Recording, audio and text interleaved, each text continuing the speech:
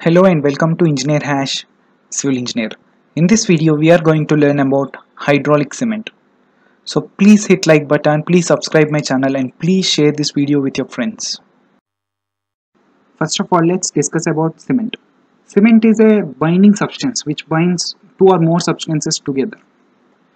And in general we know that water will help cement to gain strength after setting but when there is excess quantity of water, when there is continuous flow of water before the setting itself, it, this water, this excess water will erode the cement.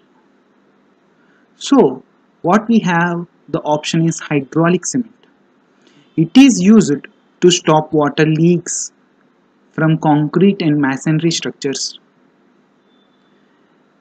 It sets extremely fast and hardens even in the contact with water.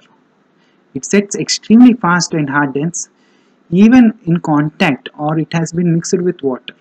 That is the special quality of the hydraulic cement. So it is used in submerged structures or submerged constructions. That is the specialty of hydraulic cement. That is how it is different from regular cement. And these are the hydraulic cement uses. It is used in swim pools, drainage systems, foundations, elevator pits, basements, all these places involve continuous water where you cannot use normal cement to do construction. So you use hydraulic cement which sets even in the presence of excess water. That is the speciality of hydraulic cement. So with my explanation if you understand the importance of hydraulic cement, how it is different from the regular cement, please subscribe my channel, please hit like button Please send feedback in this email ID. Thank you for watching this video.